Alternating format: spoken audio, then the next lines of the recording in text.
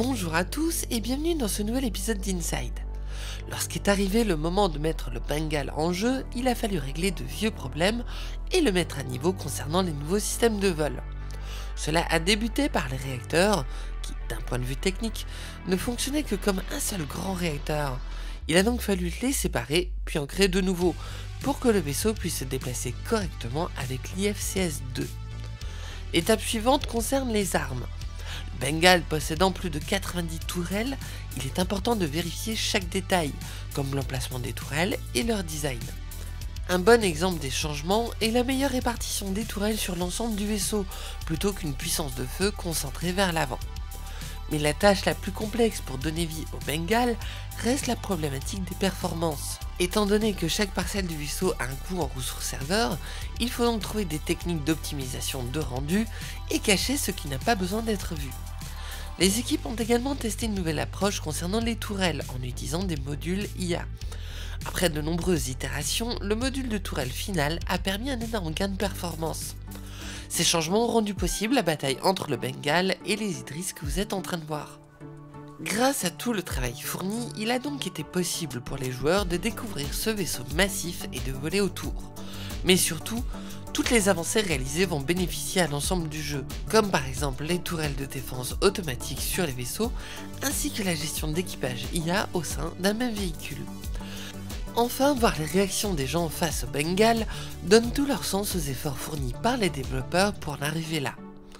Maintenant que nous avons terminé de parler du passé, parlons du futur avec un sprint report les équipes UI ont converti la plupart des signalisations de transport vers une nouvelle version du building block plus robuste.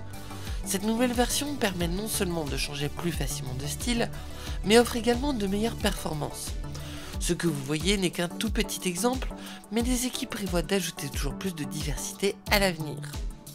L'équipe personnage est en train de compléter la création de l'armure Grey Cette armure montre que l'on peut miner et quand même avoir du style.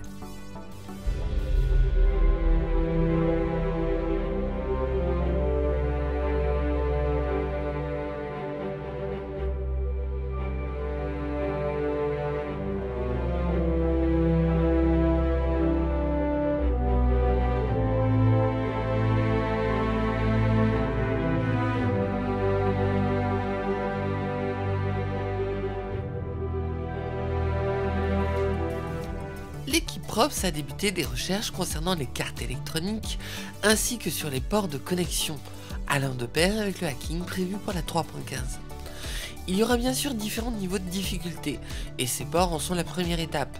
Ils permettent d'établir les visuels désirés, et vous pouvez voir ici une animation mettant le tout en scène, ainsi qu'un aperçu de l'interface de piratage, sur laquelle nous en apprendrons un peu plus au prochain trimestre. Vous avez pu voir récemment l'extérieur du Redeemer durant l'Invictus, et vous allez maintenant pouvoir jeter un œil au progrès fait à l'intérieur, notamment sur la tourelle habitée, les sièges d'opérateurs tourelle et la zone de vie. L'équipe véhicule a également débuté des recherches sur les tableaux de commande du Constellation, afin de les convertir au nouveau système physique. Les boutons que vous voyez ici ne sont que des placeholders, l'objectif étant de conserver le style holographique du Constellation. À côté de cela, le RS fait ses débuts en white box, profitant de toutes les avancées fournies par le Hercule et le Mercury. Toujours chez Crusader, vous pouvez voir ici une navette de transport en Final Art.